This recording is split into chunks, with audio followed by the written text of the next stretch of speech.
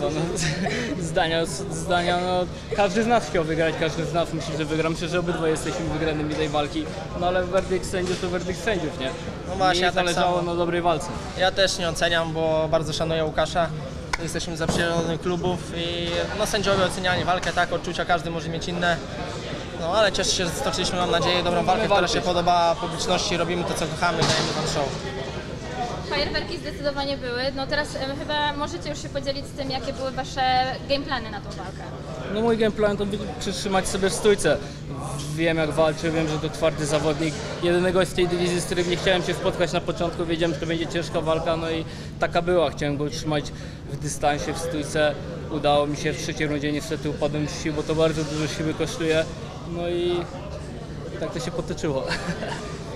Do mojego gameplanu w sumie nie mam co się przyczepić, bo tak jak zaplanowaliśmy, chciałem trochę stójki, trochę zapasów.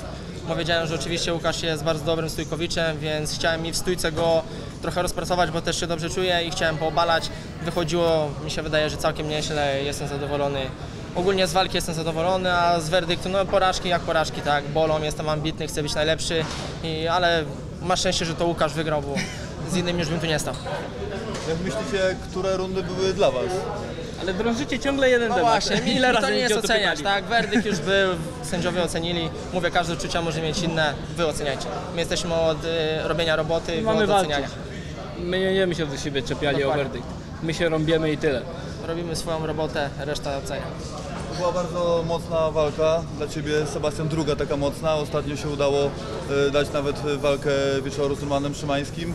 Sądzisz, że teraz też jest szansa na bonus dla Was? Mam nadzieję, że przy okazji tej walki wpadnie nam dodatkowy jakiś grosz, bo zasługujemy naprawdę. Wiem ile Łukasz zostawia, ile ja zostawiam serca na treningach. Zostawiliśmy 100%. Poza treningach naprawdę i na macie i zasługujemy na to. A ja nie mogę nie zapytać o to, że przed walką został ustalony e, limit na 68 kg. Miał być 66. E, Skąd w ogóle to wyszło? Jakiś czas temu zachorowałem. Niestety nie mogłem kontynuować zbijania wagi i miałem wybór, bo musiałem być w 100% przygotowany.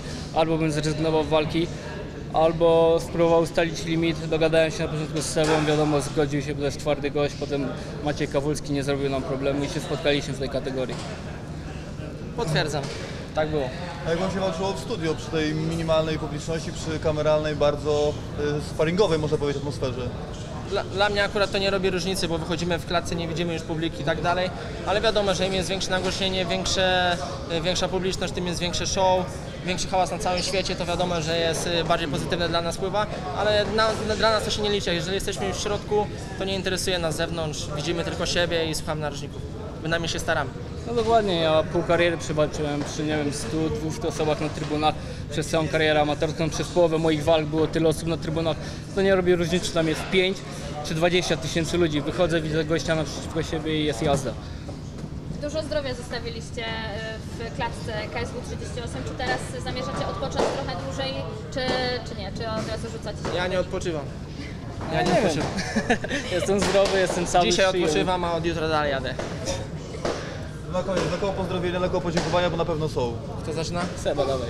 No to ja bym chciał podziękować na pewno rodzinie, przyjaciołom za wsparcie. Yy, najbardziej mogę powiedzieć, że braciszkowi mogę podziękować do tej walki, bo naprawdę był cały czas przy mnie, cały czas mnie przygotował, yy, układał na mnie game plan, codziennie tarczowaliśmy, poświęcił mi naprawdę bardzo dużo czasu, jestem mu bardzo wdzięczny, kocham Cię Tomuś.